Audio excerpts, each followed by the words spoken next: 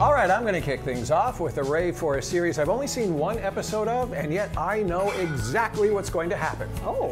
The series is called A Gentleman in Moscow. It's on Showtime and Paramount Plus and stars Ewan McGregor as Count Alexander Rostov, who survives the Russian Revolution only to be told he must spend the rest of his life in a luxury hotel. Times have changed since our glorious revolution. Most of my friends are dead. My house was seized and burned. Now, the reason I know what's going to happen is because I, like Kim, like 1.5 million people at least, Yeah. have read the book. I recommend both, the series and the book. So excellent, and I do want to watch the series because I love this so much. Yeah.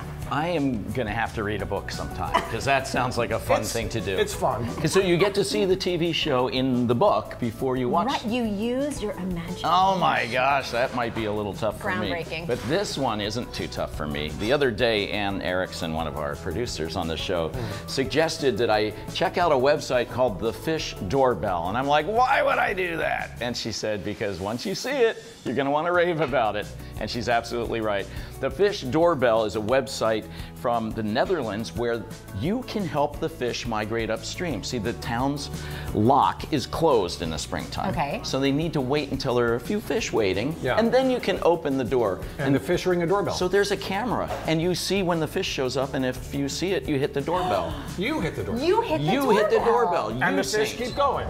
And the fish can keep their upward journey to spawn in the spring. Okay, this is dangerous for me because this sounds very addictive. Like you know you're doing something do. good, you're just waiting with You breathless just anticipation. keep it open on your desk because the fish come very rarely. And when one shows up, it is a really big deal. I wonder how many people are hitting the doorbell Like, simultaneously. I, I, I checked it out. It's like 600 people at a time. That's so great. Okay, I am going to recommend a show on Netflix, new show that I just started watching, not because it's entertaining, although it is, but because I also think it's pretty educational. Three Body Problem begins with the troubling death of more than two dozen world-renowned scientists. It's a smart and sometimes funny sci-fi mystery, but it's also rooted in facts, from the Cultural Revolution in China to the study of physics, specifically quantum entanglement. There is a lot to absorb. My husband works in science, and we had a pretty cool discussion after one episode, and then I found myself Googling and deep diving after others.